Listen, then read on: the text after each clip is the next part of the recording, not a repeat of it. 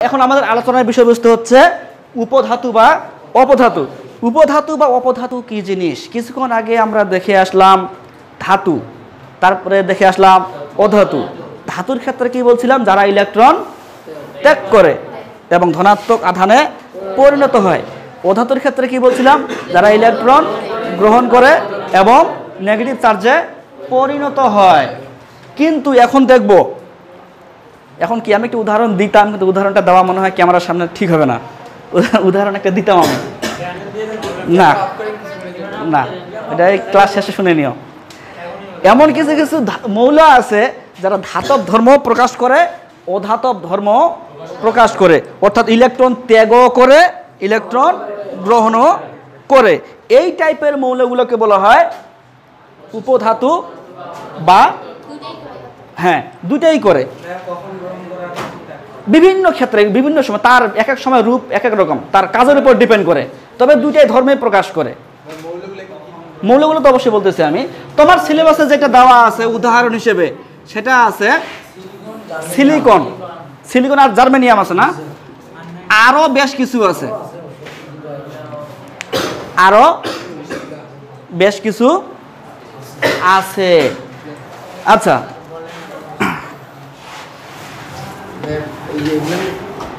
আচ্ছা দাঁড়াও। কথা বলিও না তো। এটা শুনব সবার কাছ থেকে। আমি একটা ডায়লগ লিখতেছি। ডায়লগটা ধরাবো একটু পরে।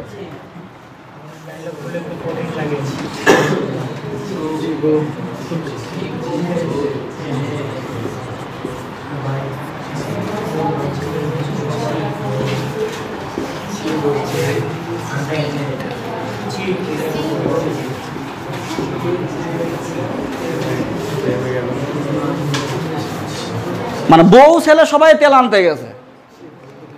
সে সে একটা বিশ্ব সুযোগ চিহ্ন। সে বউ ছেলে সবাই তেল আনতে গেল। তেল গেল আনতে বউ ছেলে সবাই তেল গেল আনতে বা তেল আনতে গেল কি কথা। এটা শুনব একটু সবার দুজনের কাছ থেকে কয়েকজনের কাছ থেকে বলো। এটাই বলবা? হ্যাঁ। তুমি তো তাহলে এখানে ফাঁকি ফাঁকিবাজি দিলা। কেন? তুমি বোর্ড দেখে বললা। আমি তোমাকে বোর্ড দেখে দেখে বলতে বলিনি না দেখে বলতে বলছি। বলো বলো। হ্যাঁ বলো। হুম। হ্যাঁ। একই কথা। একই কথা একই কথা। আচ্ছা তোমরা কোনটা ভালো হবে? তেল আন তেল আনতে গেল।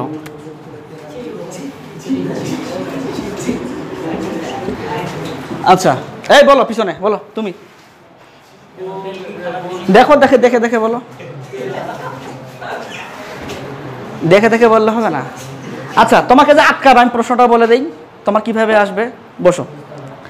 নিচের কোনটি অপধাতু বা উপধাতু নয়। এমসিকেও ম্যাক্সিমাম ছেলেমেয়ে আইডিয়াতে দাগায়। তুমিও দাগাবা। তুমিও দাগাবা, যেহেতু আমি এটা প্রমাণ পাইছি বেশ কয়েক জায়গায়। তুমি নিজেও দাগাবা। কারণ তুমি এটা মনে রাখবা না। তোমার বইয়ে দুইটা আছে সিলিকন আর জার্মেনিয়াম শুধু ওই দুইটাই হয়তো মনে রাখবা। আর স্যার যদি চালাকি করে, একটু চেঞ্জ করে দেয়, তাহলে তুমি শেষ। সিলিকন বরন সেলেনিয়াম সবাই এসবি মানে অ্যান্টিমনি এসবিতে কি হয়? অ্যান্টিমনি টেলোরিয়াম আনতে এটি এটা কি? এস্টাডিন এই যে সতেরো নম্বর গ্রুপের মৌলগুলো শেষেরটা। প্রায়। আচ্ছা গেল। এই। Germanium. G A gallium. G E germanium. B E beryllium. B A barium. এগুলো পার্থক্যগুলো জানতে হবে। এগুলো হচ্ছে সব সবগুলোই হচ্ছে উপধাতু বা অপধাতু হ্যাঁ। মানে সেগুলো ধাতুগুলো মানুষের বানানো কথা। এগুলো বই পুস্তকে লেখা নেই।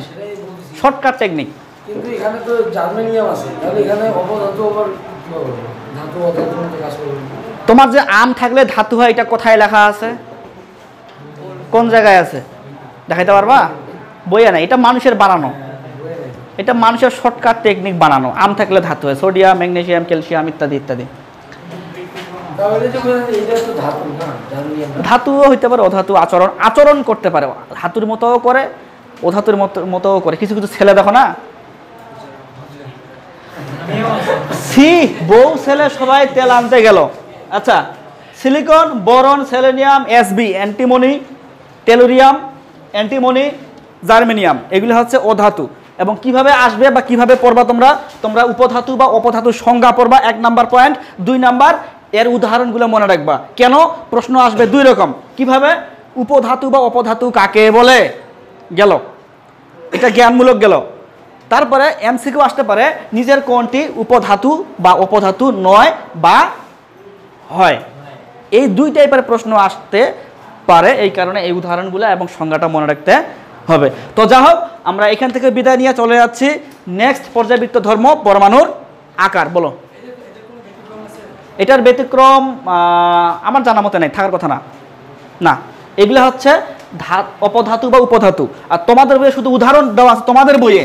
জার্মেনিয়াম আর হচ্ছে সিলিকন। তবে যেহেতু তোমরা তোমাদের বইটাই গুরুত্ব দিবে বেশি, এগুলোও তো মনে রাখবাই। পাশাপাশি এই এই দুইটা আরও বেশি করে মনে রাখার চেষ্টা করবা। এই।